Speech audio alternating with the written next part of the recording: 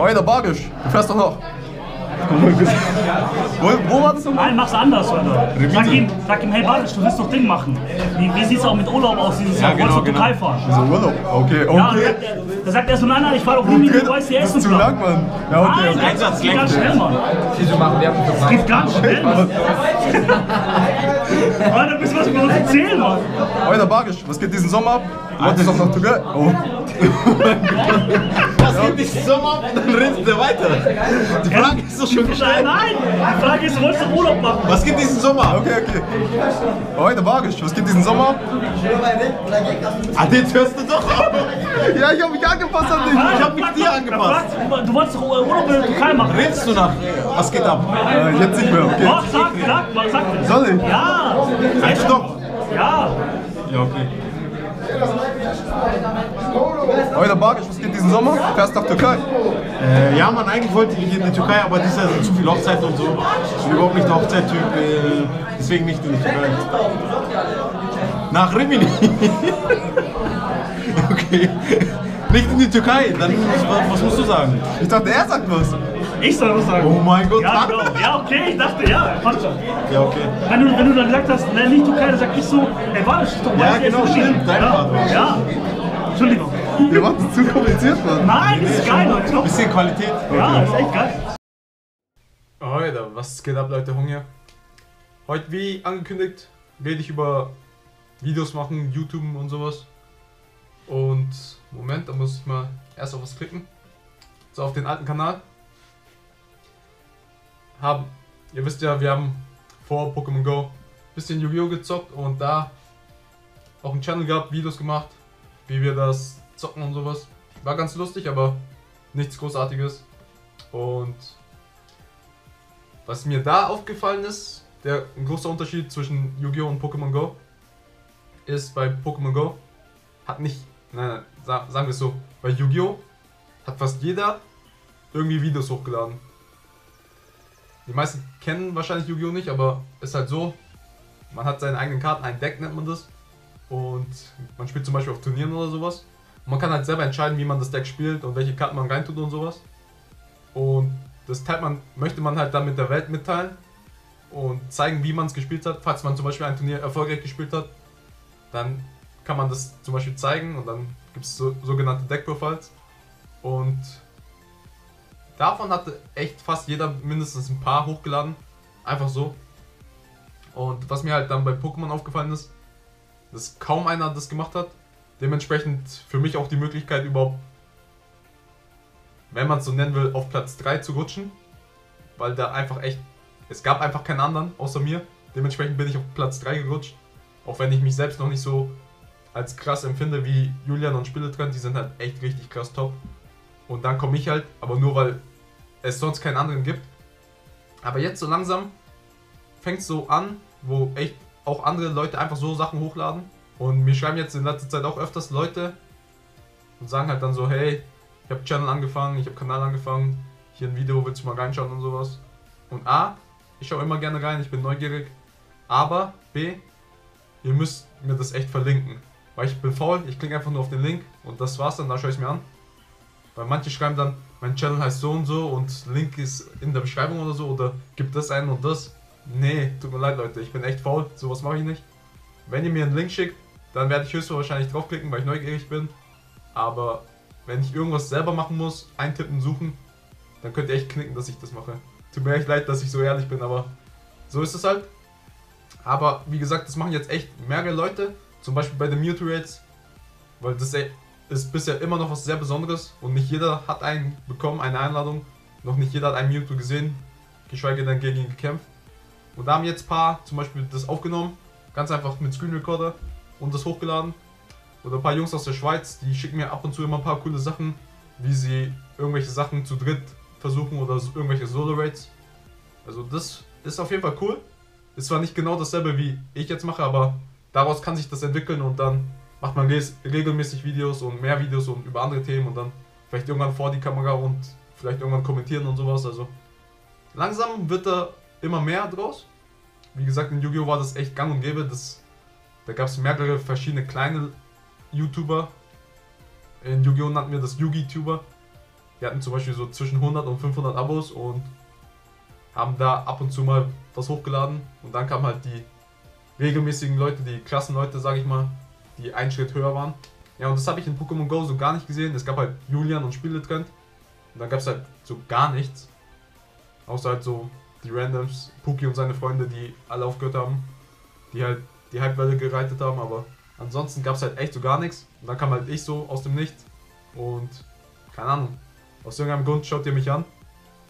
Danke dafür auf jeden Fall. Ja, das war jetzt so mein Statement zu der aktuellen Pokémon Go YouTube-Szene. Ich habe einfach irgendwie angefangen. Hier mit den Yu-Gi-Oh! Videos, keine Ahnung wieso.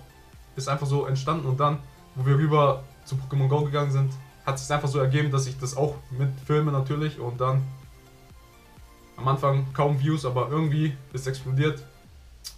Ist der Ball ins Rollen gekommen, der Schneeball, und ist immer größer geworden, bis jetzt halt. Und natürlich habe ich das nicht geplant. Ich habe nicht einfach so angefangen, YouTube zu machen. Und ich habe mir natürlich nicht dabei gedacht, hey, irgendwann verdiene ich damit mein Geld oder ich werde 10.000, 20, 30.000 Abos oder so kassieren irgendwann mal. Sondern ich habe es echt einfach so gemacht, aus Spaß, weil ich gerne filme, gerne Videos schneide und gerne Pokémon Go spiele und das hat sich dann alles so ergeben und ist irgendwie so explodiert und eigentlich bin ich echt irgend so ein Bauer, der einfach nur gerne Pokémon spielt und das zufällig filmt. Dementsprechend zum Beispiel auch so vor der Kamera nicht unbedingt der Beste oder nicht der flüssigste, aber ich mach's einfach und das ist auch ein Tipp von mir. Macht's einfach, was ihr wollt. Manche denken, YouTube wäre so eine große Sache, man muss professionell sein und dieser ganze Bullshit. Nee, macht's einfach. YouTube ist genau dafür da, dass jeder hochladen kann, was er will. Und genauso haben meine Lieblings-YouTuber angefangen. Damals in den Urzeiten noch, keine Ahnung wann das war, 2004 oder so. Keine Ahnung, Just Kidding Films, falls euch das was sagt, oder Timothy Delaghetto. Solche Sachen, die haben einfach drauf losgelabert, ihr Ding durchgezogen und hochgeladen und genau wie bei mir. Ich habe es einfach so gemacht. Am Anfang keine Views und dann irgendwann, wenn es den Leuten gefällt, kommen sie schon. Und meiner Meinung nach YouTube echt nicht so ein großes Ding, wie jeder draus macht, hey, voll professionell, dies, das. Man braucht das krasseste Mikro, man braucht das krasseste, keine Ahnung, man braucht die krasseste Kamera, Licht muss immer stimmen. Bullshit. Ladet einfach hoch, was ihr wollt. Genauso mache ich es und die YouTuber, die ich richtig respektiere, die scheißen eigentlich auch drauf. Es kommt echt nur auf den Content an und alles andere ist echt Nebensache. Das merkt man glaube ich auch bei mir, wenn es dunkel ist, ist es halt dunkel, wenn es windig ist, ist es halt windig. Was soll ich machen? Soll ich nichts hochladen oder was? Also ich, ich lade echt hoch, was ich will. Das ist mein größter Tipp. Ladet es einfach hoch, macht es einfach, macht es einfach und dreht ein paar Videos, wenn es euch Spaß macht. Ladet es hoch und denkt nicht so viel drüber nach, wie es ankommt oder über die Hater oder was weiß ich. Macht euch nicht so viele Sorgen, sondern legt es einfach los. Und auch dieses ganze, hey, kannst du mich abonnieren? Kannst du mal das und dies machen? Könnte ich machen, ja. Ich habe auch kein Problem damit, irgendwie, irgendwen zu unterstützen. Ich wurde oft genug unterstützt, aber im Grunde genommen hilft es gar nichts. Selbst wenn ich euch erwähne und sage, hey, schaut da vorbei, nur die Leute, also es würden, werden wahrscheinlich ein paar vorbeischauen, aber wenn ihr schlecht seid oder schlechten Content bringt und schlechte Videos, dann wird das nichts viel bringen. Wenn ihr gute Videos macht, oder zumindest okay Videos, dann wird es irgendjemanden schon interessieren. Und die, die es interessieren wird, die werden auch bleiben.